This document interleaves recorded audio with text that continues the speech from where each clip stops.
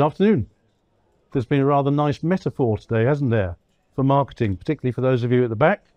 Your message needs to be heard. So we're going to cover a few things here which will help you to do that. Um, I was speaking at an event the other day and I went round and I found someone that was somebody's notebook. So that was a real notebook uh, for taking notes on my talk. Uh, none of you got one of those, I see. So it'd be great if we all had huge budgets that we could throw at our market and lead generation, like some of the big boys have got. Yeah, um, it's very exciting. I love collecting pieces of marketing that really get people's attention. Um, and in many ways, we're limited by our own imaginations in terms of how we get our message heard and how we get out there. A little bit of creativity helps us to differentiate ourselves. With the best will in the world, you can go to any financial advisor's website around the UK and they all say the same thing. We really do need to try and differentiate ourselves. That's not our faults, really. You know, we're in a regulated industry, and in regulated industries, by nature, we all have to follow the same rule book. So it is quite difficult to differentiate.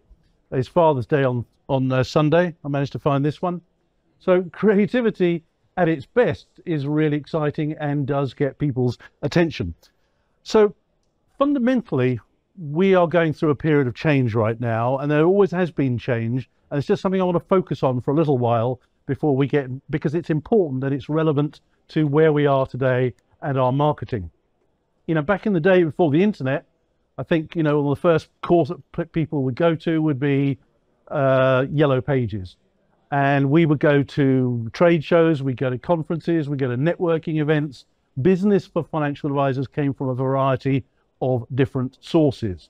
What's really interesting to see is some of the most successful financial advisors when it comes to marketing and lead generation still do this stuff. We've got lazy because of the internet in many ways. We kind of we put our websites out there, we kind of sit back, box ticked, I've got my website, I'm in the world of, not, of e-commerce. No, you're not. In many ways, your website needs to be promoted as well to drive the people to it. So, you know, that was before the internet. Then around 1983, uh, some of you might remember Lotus, uh, Lotus uh, 123 coming on board. It really changed things in terms of how we could operate as financial advisors. Really helped us to look at that data that we've got. Uh, we could create some fancy graphs which clients could enjoy looking at. We could manipulate the data, which is really good, and it would make us much more productive. So although technology comes along and it scares us a little bit to some extent, it actually, in the long run, really does help us. So along comes 1993, and we haven't looked back. Well, we do tend to look back. The internet changed everything in many ways. And the whole point of the internet, in many ways, it was to make it easier for people to find financial advisors. But in fact, as technology has moved on, we all know this. There's so much noise out there on the internet now. In many ways, it's actually harder than ever to get seen and to be visible and to differentiate ourselves. So we need to think about a few things. This is a really interesting graph as well. It kind of crept up on us. It was a pivotal moment in the history of the internet in about April, May 2010, when the number of visits to search engines was overtaken by the number of visits to social media. And in many ways, a lot of people these days use social media as their search engine. If any of you are on, say, a local Facebook group, you'll always see people saying, hey, we just moved to the area. Can anyone recommend a vet? Can anyone recommend a childminder? So human beings, although we have access to the knowledge online through technology, we would still rather ask another human being, albeit through the medium of technology, for their opinion on where to go. So right now, there are people on social media asking, can anybody recommend a financial advisor? So we need to be visible to those particular people. So moving even further forward, we were all told that we really needed to be on Google. If you weren't on Google, you didn't exist, used to be the phrase. We can now think about really, perhaps we need to be even more visible than just on Google. Maybe we need to be on Spotify. Maybe we need to be on uh, Amazon and iTunes. That's really quite easy to do for financial advisors, but it's the next step that we really need to be thinking about. So despite all that technology that's underpinning kind of everything we do, at the heart of it is you guys and girls. Real professionalism that's getting more professional as every single day, day goes by. Real hands-on quality services. The trick is getting across the value of the expertise, the credibility, and the knowledge and the expertise that you have. But now we arrive at another technological moment. We are literally standing at a crossroads where that traditional hands on professional approach is meeting face to face with something that can replicate us online as well. How on earth do we deal with that? One thing I would say, we're going to just briefly touch on AI, is that please, please do not ignore AI. It's not something that's coming down the track in a couple of years' time. We'll start paying attention to it then.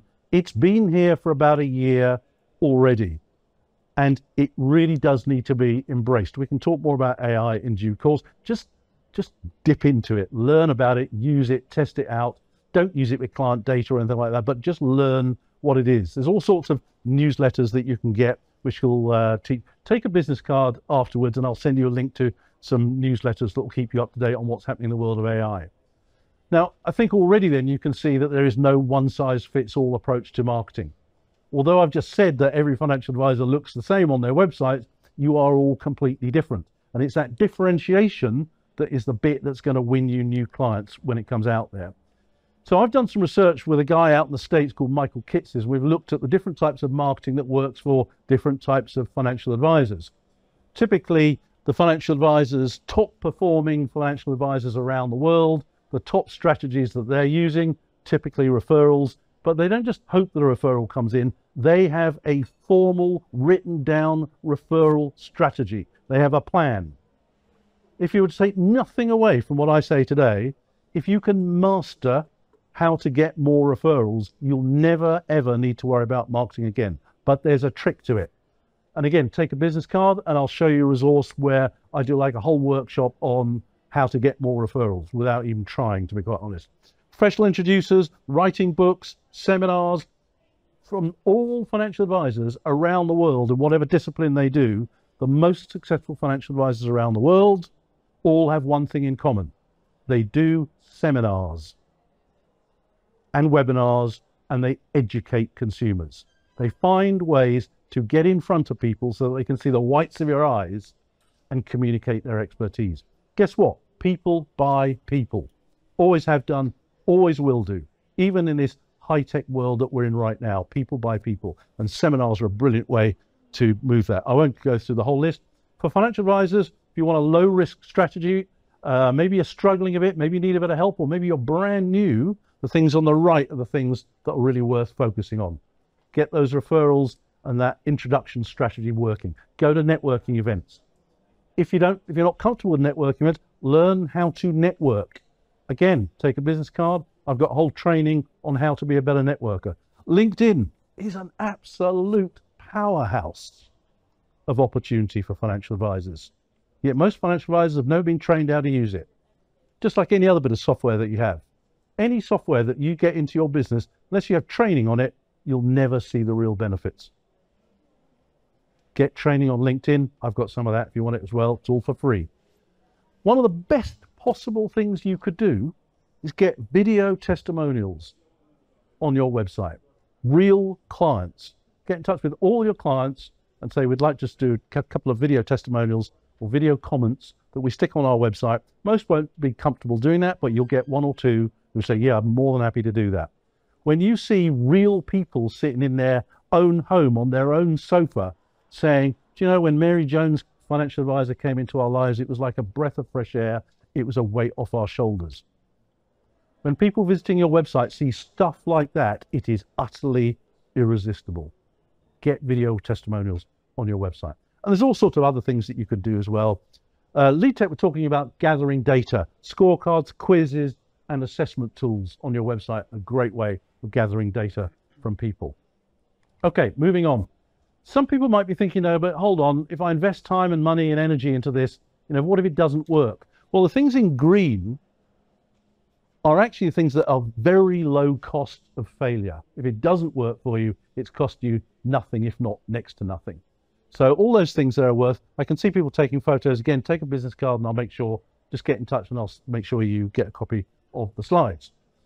Um, referrals, I just want to pick up on three of the things we've been talking about. So referrals is it's just a no-brainer, okay? Learn how to do it. And a lot of people, I think in, in this country, we've got this kind of, kind of vibe going on. Maybe it's not quite a done thing to ask people for referrals. Or what if people said no? We have this kind of vibe about us. Referrals really, it should be an absolute joy and a pleasure for a client to want to introduce you to one of their friends or colleagues. They would naturally, they should naturally want to do that. There is a trick to doing it. And one of the things that, that is worth thinking about, it's a kind of new skill that you need to, next client meeting, look for all those little signs that the person sitting in front of you is experiencing value. If they go, oh yeah, I get it, that's interesting, hadn't heard that before, those are subtle signs that they are getting value from you. And you want to try and make a note of everything they do that gives you a signal that they're getting value from you. And towards the end of the meeting, and again, we haven't really got time to go into, the, into detail, you can remind them of the value they've been receiving. And you can politely suggest to them, oh, maybe do you have any friends that could get the same value and the same benefit from talking to us? And they very, very quickly start turning around and go, yeah, I can think of Fred Smith or Mary Jones, more than happy to do that. It is about helping people, help, you've got to help them uh, as you do right now, but look out for those little signs where they're experiencing value from them.